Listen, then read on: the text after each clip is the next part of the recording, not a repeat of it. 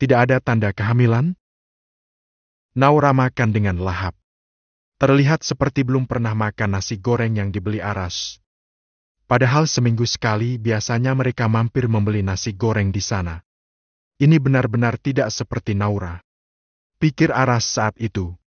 Aras sampai menempelkan punggung tangannya di kening Naura. Normal. Gak panas. Ucap Aras setelah menempelkan punggung tangan ke kening Naura. Apaan sih kak? Aku gak demam. Ucap Naura sambil makan. Enak? Enak kak. Curang. Ternyata benar dugaanku. Nasi goreng ke Aras lebih enak dari punyaku. Ucap Naura. Ya sekarang Naura sedang makan nasi goreng Aras. Tadi, setelah nasi goreng miliknya habis separuh. Dia melihat nasi goreng Aras lebih menggoda lalu malu-malu meminta izin pada Aras untuk menukarnya. Tentu saja Aras mengizinkan untuk membahagiakan istrinya. Kan sama aja, Rah. Orang tadi bikinnya juga barengan satu wajan. Gimana ceritanya bisa beda? Ucap Aras yang terheran-heran. Dia yang menganggap Naura sedang hamil hanya bisa maklum dengan istrinya yang sedang ngidam. Tapi beneran, Kak. Coba deh kakak makan. Satu suap milikku dan satu suap milik kakak bergantian. Beda kok. Ucap Naura sambil mempraktekkan. Gitu ya? Aras pun penasaran dan menyontoh yang dilakukan Naura. Sama aja, batin Aras. Gimana? Bener kan beda? Aku bilang juga apa, punya kakak lebih enak. Alhamdulillah udah kenyang. Habisin kak. Gak baik lo disisain. Nanti mubazir. Ucap Naura. Dia melihat kertas bungkus nasi lalu memasukkan dalam plastik untuk dibuang tapi menunggu Aras selesai makan. Yara, kayaknya lain kali kalau beli makanan harus beli tiga porsi deh. Ucap Aras yang hanya kebagian makan tiga sendok nasi goreng saja. Aras benar-benar terkejut dengan nafsu makan Naura saat ini. Ya nggak apa-apa kak. Tapi kakak yang ngabisin ya. Aku cukup satu porsi aja kok. Ucap Naura. Dia lalu melipat kertas bekas nasi goreng Aras. Lalu memasukkan ke dalam plastik dan membuangnya ke tempat sampah. Aku ngantuk, Rah. Ucap Aras sesaat setelah menguap. Gak boleh tidur dulu, Kak. Itu kebiasaan tidak sehat. Setelah makan tidak boleh langsung tidur. Apalagi kita habis makan berat. Gak baik untuk kesehatan lambung. Minimal 2-3 jam setelah makan baru boleh tidur. Asam lambung bisa naik lagi. Dan bisa mengakibatkan penyakit asam lambung jert Itulah kenapa agama kita melarang tidur setelah makan. Apalagi kakak tuh udah ada riwayat jer. Ucap Naura. Dia duduk di depan televisi. Iya bu guru, siap. Ucap Aras. Dia membenarkan ucapan Naura. Dia juga duduk di sebelah Naura dan menonton televisi bersama. Setelah dua hari di rumah sakit, akhirnya Rani dan bayinya diperolehkan pulang. Keluarga Prasaja sangat senang menyambut kehadirannya. Aras dan Naura kebagian menyambut di rumah. Membersihkan rumah kedua orang tuanya agar bayi Rani merasa nyaman saat pulang nanti. Kamu gak usah capek-capek, Ra. Lagian juga udah dibersihin sama orang yang disuruh mama kok. Ya, Kak? Gak apa-apa. Cuma nyapu teras don. Yang bagian kamar udah dibersihin sama mama kemarin. Ngomong-ngomong siapa nama bayinya Teh Rani ya, Kak? Kayaknya kita belum dikasih tahu. Ucap Naura sambil menyapu. Gak tahu? Aku juga belum dikasih tahu. Siapa pun itu. Yang penting namanya adalah doa dari kedua orang tuanya. Terus nama anak kita nanti siapa, Ra? Celetuk Aras sambil bergurau. Hasan, Husen. Ucap Naura asal. Dia lalu masuk ke dalam menaruh sapu karena sudah selesai. Hasan Husen? Kembar Dang? Gumam Aras setelah mendengar Naura menyebut kedua nama anak kembar. Aras pun tersenyum. Dalam hati dia pun berharap bisa memiliki anak kembar seperti dia yang juga kembar. Beberapa saat kemudian, mobil Indra sudah sampai di depan rumah.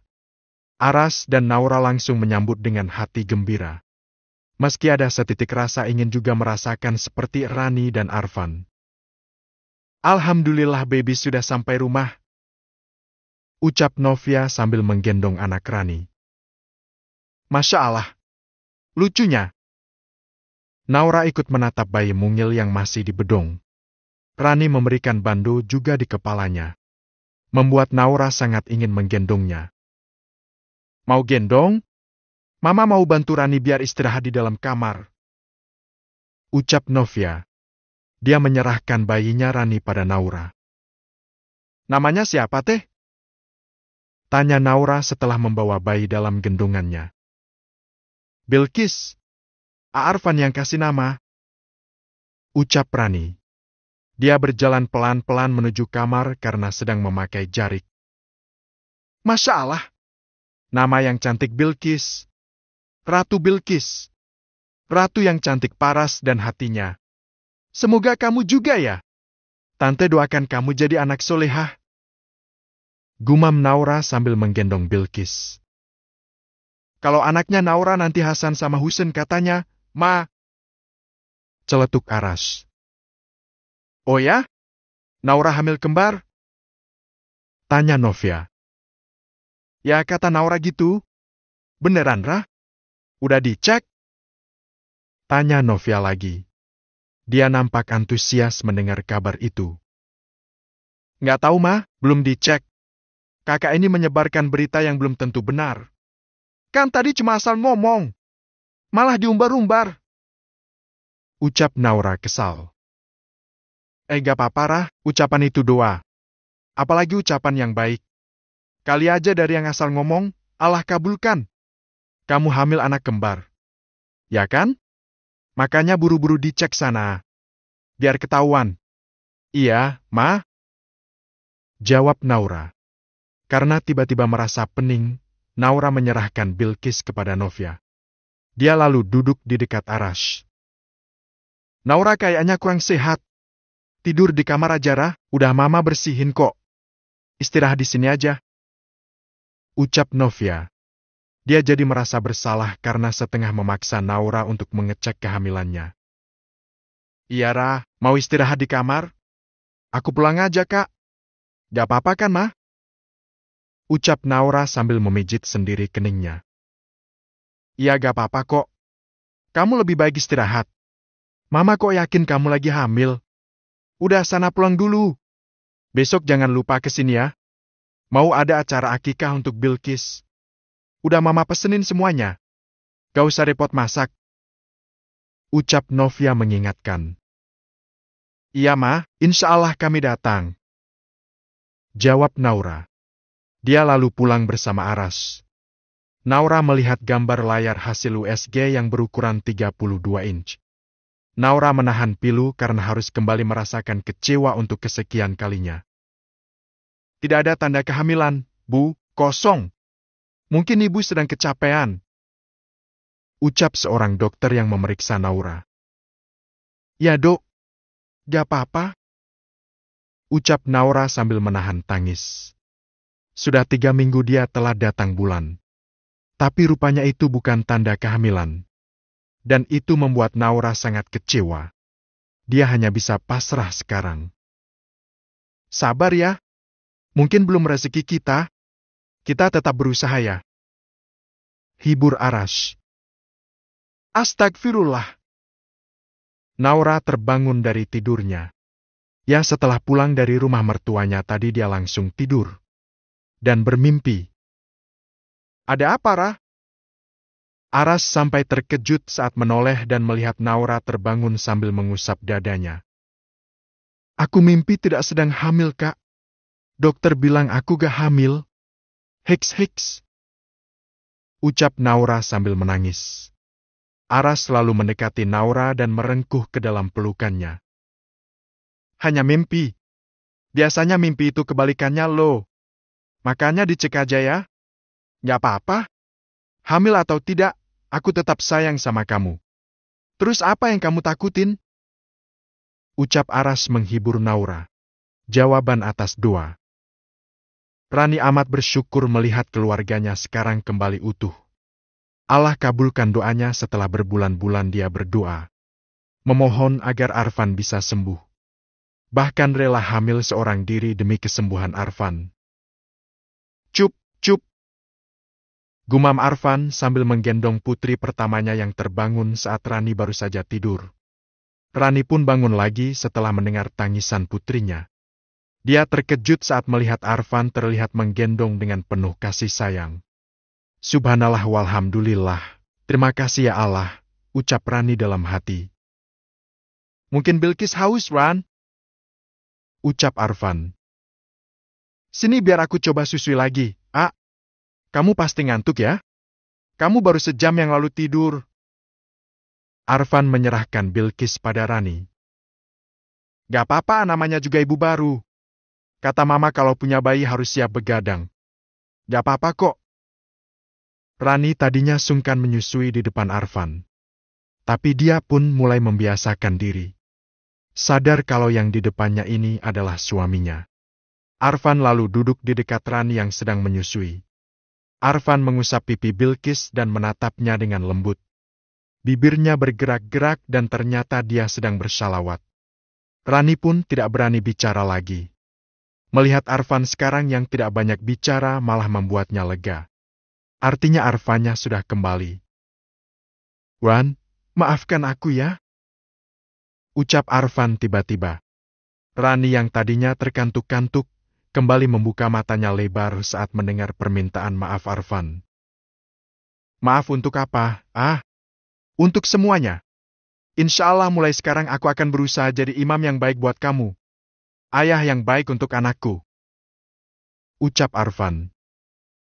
Ya gak apa-apa kok. Aku udah lupa semuanya. Ucap Rani sambil tersenyum.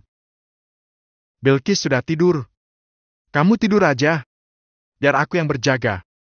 Aku udah biasa bangun tengah malam kok. Di pesantren sudah biasa menghidupkan malam. Di sana kalau jam segini ramalan. Ucap Arfan sambil menengok jam yang jarum pendeknya menunjuk angka dua. Eh merindukan suasana di sana ya? Ya, tenang rasanya. Jadi Eh mau kembali ke sana? Tanya Rani dengan mata berkaca-kaca. Ya mungkin sesekali aku akan ke sana. Tapi tidak di sana terus. Aku punya keluarga yang harus aku nafkahi. Sekarang aku udah sembuh dan aku sudah siap untuk menjadi kepala keluarga. Iya, ah, Paling kalau panen lele aja aku ke sana. Papa bikinin aku kolam lele di belakang pondok. Dan selama ini kesibukanku yaitu. Alhamdulillah sudah beberapa kali panen dan udah aku kasih ke kamu sebagai nafkah. Jadi uang yang beberapa kali E kirim itu hasil dari lele? Kok E Iga pernah cerita? Ya belum sempat aja. Doakan aja ya semoga usahaku lancar. Biar bisa kasih kamu nafkah setiap hari. Amin. Ya aku selalu doain kok. Rani lalu meletakkan Bilkis. Bayi mungil itu tidur dengan pulas. Dan kini saatnya Rani rebahan. Dengan sigap Arfan membantunya untuk tidur dengan nyaman. Sudah enak? Apa mau diganti bantalnya? Gak ini udah nyaman kok. Biasanya juga pakai bantal ini. Rani memang terlihat tidak nyaman karena rasa nyeri di bagian yang dijahit. Tapi sungkan mengatakannya pada Arfan. Ya udah tidur aja ya. Aku mau ambil wudhu. Ucap Arfan. Tangan Naura gemetaran saat memegang hasil tes pagi ini. Ya tadi malam dia diam-diam pergi ke minimarket untuk membeli tes kehamilan. Dan pagi ini setelah bangun tidur dia langsung mengeceknya. Dia harus tahu lebih dulu daripada Aras. Setidaknya biar dia saja yang kecewa jika hasilnya nihil. Naura menangis. Entah apa yang harus dia lakukan saat sudah mengetahui hasilnya. Seakan tak percaya. Tapi ini mungkin sudah takdir. Naura? Buruan, aku kebelet. Ngapain sih di kamar mandi lama-lama? Teriak Aras dari luar. Iya kak.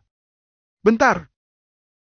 Naura langsung memasukkan lagi hasil tes ke dalam kertas pembungkus lalu menyembunyikan di belakang tubuhnya saat keluar dari kamar mandi. Dia takut Aras melihatnya. Ngapain sih? Gak tahu lagi kebelet, Ra. Aras langsung masuk saat Naura keluar. Dia langsung menutup pintunya. Gimana caranya aku ngomong ke Kak Aras ya? Ucap Naura. Dia pun duduk termenung di pinggiran kasur sambil menatap kertas pembungkus tes kehamilan. Sesekali dia menatap pintu kamar mandi. Dia bingung harus dengan cara apa menyampaikan pada Aras. Apa Aras akan bisa menerima semua ini dengan ikhlas? Pikirnya. Ah, lega. Jam berapa ini, Ra? Aku harus berangkat sekarang. Ucap Aras setelah keluar dari kamar mandi. Dia terlihat buru-buru karena harus menggiling daging. Jam setengah empat, Kak. Ucap Naura. Aku berangkat dulu ya, Ra. Ya, Kak. Hati-hati ya. Kenapa sih? Tanya Aras. Tapi dia langsung keluar karena harus segera pergi. Tapi tadi dia sempat menangkap gelagat aneh istrinya. Gak apa-apa. Udah sana berangkat. Aras menatap Naura heran. Tapi dia memilih untuk cepat-cepat pergi. Karena harus berlomba lebih awal dengan pedagang lainnya. Naura jadi tidak konsen melakukan pekerjaannya pagi ini. Dia jadi sering duduk karena merasa cepat capek. Belum lagi rasa mual yang kerap datang. Apalagi di pagi hari seperti sekarang. Pengen nasi uduk? Gumam Naura saat mengaduk saus. Padahal saat ini dia juga sedang mual karena aroma saus yang baginya sangat menyengat. Naura akhirnya memakai masker untuk mengurangi aroma yang masuk ke hidungnya. Dan akhirnya bisa selesai juga membuat saus walau lebih lama dari biasanya. Pengen nasi uduk? Ke arah selama banget. Naura menunggu Aras pulang sambil mendengarkan murotal di ruang tamu. Tepat saat azan subuh berkumandang, Aras tiba di rumah. Naura lalu membukakan pintu untuk Aras. Assalamualaikum. Waalaikumsalam. Aku langsung ke masjid Yara. Aras meletakkan hasil gilingan di dapur. Lalu bersiap berangkat ke masjid. Tapi rupanya ada yang aneh. Kak! Naura mengekori Aras dengan wajah memelas. Kenapa sih? Tumben-tumbenan kayak anak kecil minta mainan. Tanya Aras sambil memakai peci. Kak, ya kenapa? Ada apa? Ayo ngomong aja. Kalau gak ngomong aku tinggal lo. Keburu ikamah. Ya udah nanti aja kalau pulang dari masjid aja ngomongnya. Oh gitu? Ya udah. Aku pergi dulu ya. Hati-hati di rumah ya. Iya, Kak. Naura bingung bagaimana cara menyampaikan pada Aras. Naura pun langsung mengambil air wudhu. Lalu menunaikan salat qobliyah subuh dilanjut salat subuh. Setelah salat, dia berdoa memohon petunjuk oleh Allah. Bagaimana harus menyampaikan hasil tes tadi pada Aras? Rasanya ingin menangis merasa sangat takut jika semua ini adalah sebuah kesalahan. Beberapa saat kemudian Aras pulang. Aras pun kali ini benar-benar tidak bisa menahan lagi keingintahuannya tentang keadaan istrinya. Matanya yang sembab menandakan Naura habis menangis. Ra, kamu kenapa sih? Ayo ngomong. Jangan bikin aku bingung. Kamu habis nangis kan? Tanya Aras. Ayo ikut aku, Kak. Naura mengajak Aras ke kamar, lalu menunjukkan hasil tes tadi pada Aras. Karena Aras berhak tahu yang sebenarnya. Kak, ini hasil tesnya. Maaf ya. Ucap Naura. Kadal Paharsa. Aras menatap alat yang digunakan Naura untuk tes kehamilan. Dan setelah melihat hasilnya, Aras hanya bisa pasrah. Awalnya dia kecewa. Tapi kemudian dia tersenyum berusaha ikhlas karena hasilnya. Udah gak usah sedih. Semua sudah ada yang ngatur kok. Allah maha tahu apa yang terbaik untuk kita. Tetap semangat ya. Aku janji akan berusaha lebih giat lagi. Oke? Okay? Aras merangkul Naura. Meski awalnya yakin Naura hamil, tapi melihat hasilnya negatif, tentu membuat Aras sedikit kecewa. Heks, Heks, ya kak. Tapi kenapa telat lama banget? Gak biasanya kan aku telat lama kayak gini. Aku juga merasakan tanda kehamilan. Tapi kenapa hasilnya negatif? Naura menangis dalam pelukan Arash. Air matanya terus keluar. Sempat dia pun berpikir apa Allah marah padanya. Hingga tidak diberi kesempatan lagi untuk bisa hamil. Udah, gak usah nangis. Ya, kalau kamu yakin hamil, kita bisa cek di dokter aja.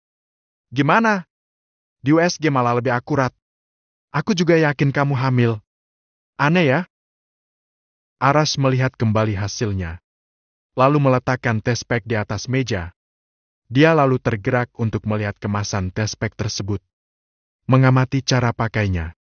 Yang biasa ada di kemasan. Lalu membaca dengan saksama. Astagfirullah. Mungkin kita banyak dosa kali ya, Kak. Kalau beneran negatif, terus yang bikin aku telah datang bulan apaan, Kak? Stres kali. Atau kecapean. Ucap Aras. Dia lalu melihat sesuatu yang membuatnya tergelitik ingin menanyakan pada Naura. Ini bulan apa, Rah? Desember, Kak. Tahun? 2023 lah. Masa lupa? Eh, ini tes patchnya kada luarsa. Rah, kamu gimana sih? Ini bulan Oktober tahun 2023. Mana kemasannya udah butek gitu? Aras memperlihatkan kemasan tespek pada Naura. Masa sih? Naura ikut membaca dan benar tertulis kecil di samping kanan bawah XP, Oktober tahun 2023. Ngaruh gak sih hasil tespek dengan kadaluarsa? Ngaruh, Kak. Aku tadi malam asal beli aja di minimarket dekat sini Indo April. Awalnya ragu karena tinggal satu. Sampai gak lihat expirednya. Karena belinya buru-buru. Oh yang tadi malam kamu pergi sendiri naik motor. Gak mau dianterin? Naura mengangguk. Berarti mungkin salah hasilnya. Makanya kalau beli itu di minimarket yang Maret. Jangan yang April. Biasa ngepranktih karena April mop. Hehehe.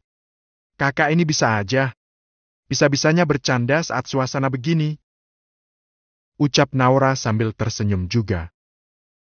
Kamu duduk aja dulu ya. Saus sudah mateng kan? Udah? Ya udah aku cari di minimarket atau apotek 24 jam dulu. Cari yang gak kadaluarsa.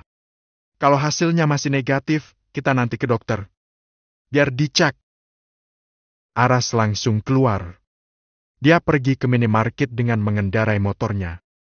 Tujuannya hanya ingin membeli tes pack supaya hasilnya lebih akurat. Naura menunggu di rumah dengan hati gelisah. Dia masih melihat hasil tes pack dengan satu garis merah yang menandakan negatif. Sedih rasanya. Tapi ada secercah harapan saat Aras menemukan alat itu ternyata sudah kadaluarsa. Baru kali ini dia seceroboh ini. Padahal biasanya jika membeli makanan atau minuman kemasan selalu meneliti tanggal kadaluarsanya. Dia menunggu Aras sambil berdoa terus dalam hati. Semoga setelah dites untuk kedua kali nanti hasilnya positif. Seperti yang diharapkan selama ini. Sudah satu jam Aras pergi. Sampai Naura selesai menyapu halaman, Aras belum juga kembali. Sekarang dia malah khawatir dengan Aras. Kenapa lama sekali? Naura duduk di teras rumah sambil menunggu Aras pulang. Beberapa menit kemudian Aras akhirnya pulang juga. Naura langsung berdiri dan buru-buru menghampiri Aras. Kenapa lama, Kak? Tanya Naura. Iya, maaf. Aku muter-muter ke beberapa tempat. Rah, maaf ya. Kok ke beberapa tempat? Emang beli berapa? Udah gak usah banyak nanya. Ayo masuk. Aras menarik tangan Naura. Dan buru-buru mengajaknya masuk. Naura duduk dan hanya menatap bungkusan plastik warna putih berukuran sedang. Ada dua plastik. Entah apa yang dibeli Aras. Karena seperti ada beberapa barang di dalam plastik itu. Kak beli apa aja sih? Tanya Naura setelah Aras selesai mencuci kaki. Aku beli nasi uduk. Laper banget. Ayo makan. Eh jangan dulu deh. Tes dulu aja ucap Aras. Dia mengeluarkan semua isi di plastik satunya. Kakak beli tes pack banyak banget. Buat apa? Tanya Naura sambil melotot. Dia terkejut saat Aras mengeluarkan banyak tes pack dari dalam plastik. Aku beli beberapa merek tes pack, Ra, dan udah aku cek. Aku jamin gak ada yang lewat kadal Pak Harsa lagi. Kadal luar saka? Bisa-bisanya jadi kadal Pak Harsa? Ucap Naura. Dia menghitung satu persatu tes pack yang dikeluarkan Arash. Satu, dua, sepuluh. Banyak amat? Ucap Naura setelah selesai menghitung. Ya nggak apa-apa. Aku buka semua dan nanti kamu cek satu persatu ya. Aku yakin semuanya positif. Ucap Aras optimis. Ya kak? Naura hanya bisa menurut. Dia langsung membawa semua tes pack ke kamar mandi. Ngomong-ngomong butuh urin sampai seliter gas sih untuk ngecek pakai semua alat ini? Celetuk Aras. Ya galah kak. Satu cawan kecil juga cukup. Ya sudah aku tunggu ya. Eh kenapa gak dibawa aja urinnya ke sini? Pakai cawan nanti kita lihat sama-sama. Celetuk Aras lagi. Dia benar-benar tidak sabar ingin segera tahu hasilnya. Gak kak. Kalau tumpah bisa bahaya. Karena itu najis. Udah di kamar mandi aja. Tunggu ya. Naura langsung masuk ke kamar mandi. Dia menampung sedikit urin di cup plastik kecil sekali pakai. Lalu dia celupkan satu persatu tespek ke urin. Dan dia langsung keluar tanpa melihat hasilnya. Dia ingin Araslah yang pertama melihat hasilnya. Saudara? Aras langsung berdiri saat melihat Naura keluar dari kamar mandi. Iya, Kak.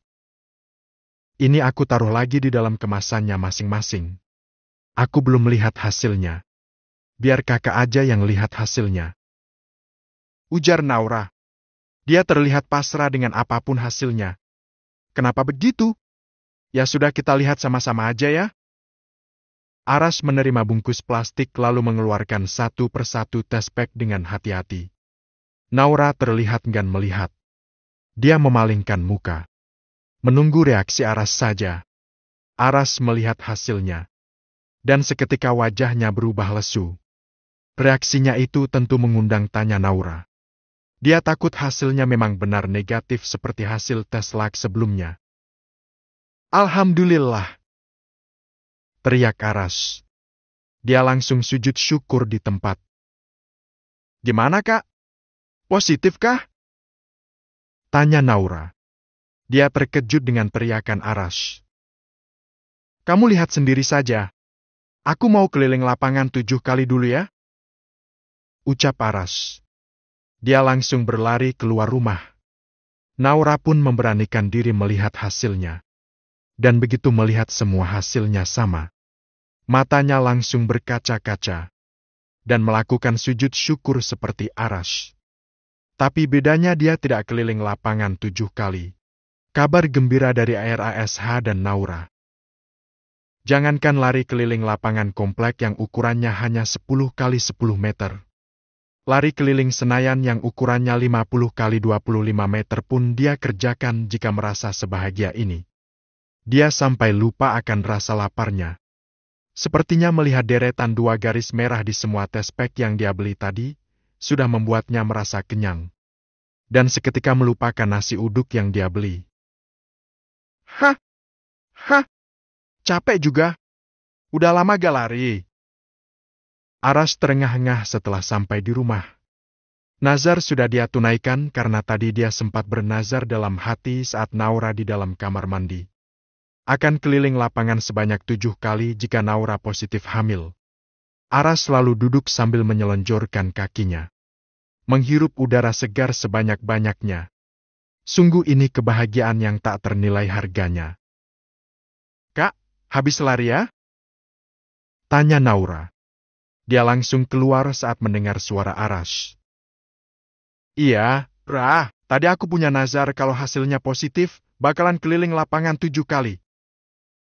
Ucap Aras yang duduk sambil memijit kakinya. Nazarnya kok gitu?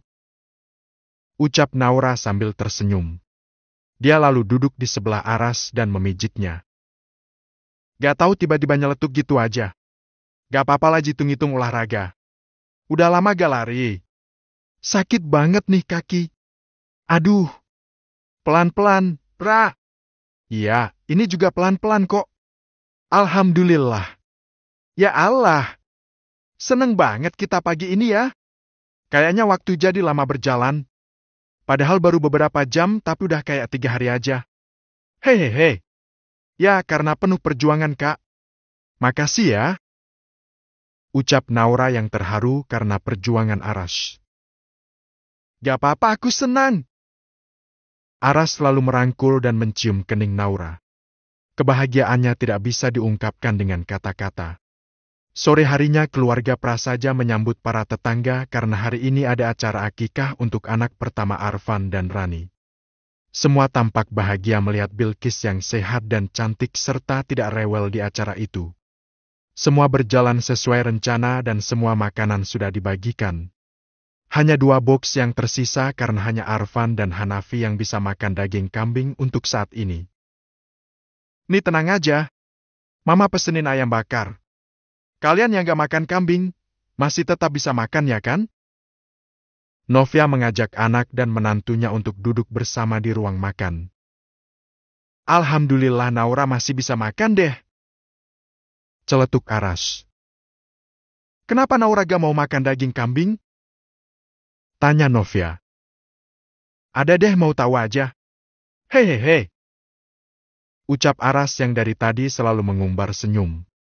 Pokoknya hari ini dia jadi sering tersenyum. Ya sudahlah. Gak apa-apa makan ayam bakar aja ya, Ra. Kalau mama sama papa takut darah tinggi aja. Oh ya, mama lihat hari ini kamu sumringah banget, Rush. Agak lain kayaknya. Ucap Novia sambil menuangkan nasi ke piring Indra. Ada deh mau tahu aja. Mau tahu apa mau tahu banget? Hehehe. Tuh kan senyum-senyum terus. Ada apa sih? Mama kepo deh. Ucap Novia. Naura pun hanya senyum sambil menikmati makanannya sendiri. Dia sedang menunggu Aras yang menyampaikan kabar gembira ini. Ayo mama makan dulu. Nanti setelah makan baru aku kasih tahu. Hehehe ucap Aras. Aka Aras nih kebiasaan suka main tebak-tebakan. Celetuk Adisti. Gak juga sih. Ucap Aras sambil senyum-senyum. Setelah melihat semuanya sudah selesai makan, akhirnya Novia pun menagih janji Aras untuk menceritakan apa yang membuat Aras terlihat sangat bahagia hari ini. Ayo Wash, cepat cerita.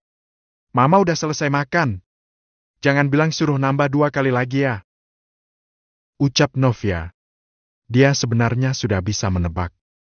Hanya saja dia ingin Araf atau Naura yang menceritakan pada keluarga. Ya deh, karena mama maksa. Mama makan lagi dua kali ya. Hehehe. Kamu ini wash. Dosa tau ngerjain orang tua. Ucap Novia kesal. Ya ya. Gitu aja ngambek. Ehem. Begini Mama, Papa dan saudara-saudaraku semuanya.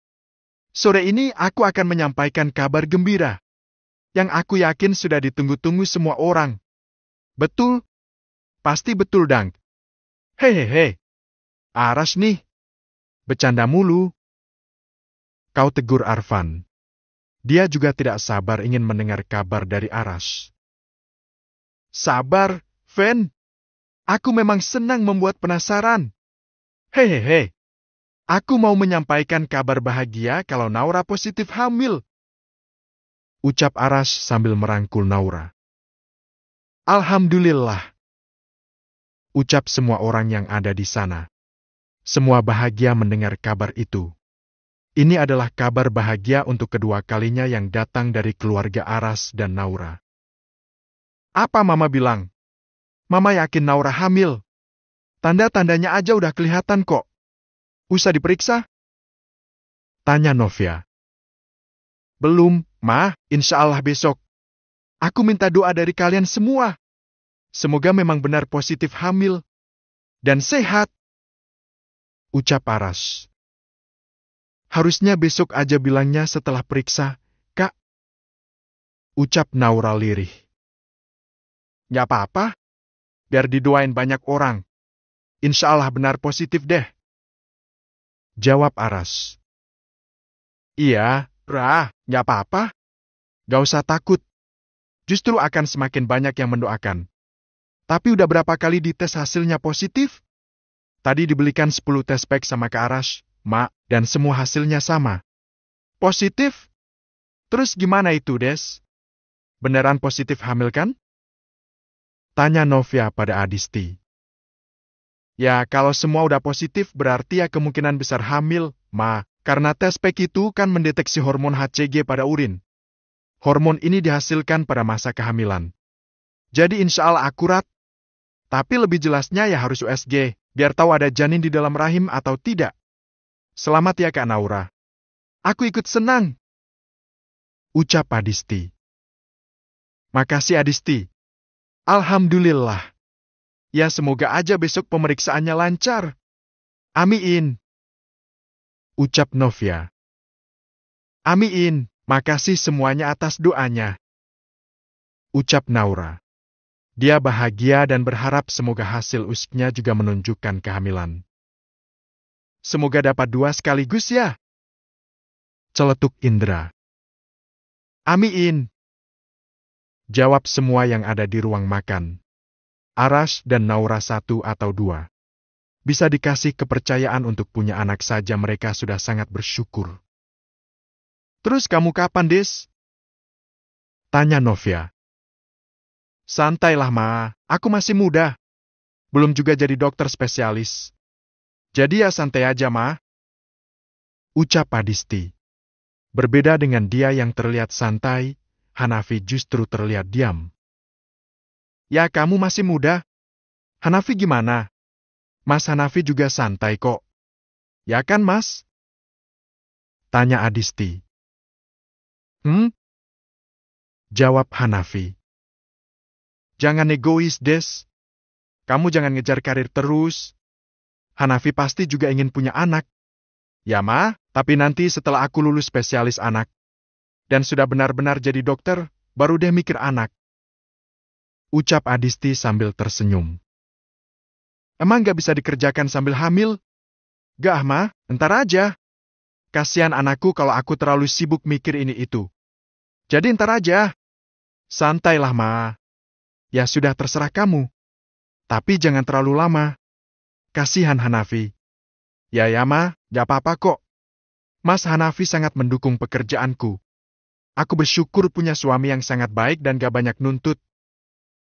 Ucap Adisti sambil menyandarkan kepalanya di bahu Hanafi. Sedangkan Hanafi tampak diam saja.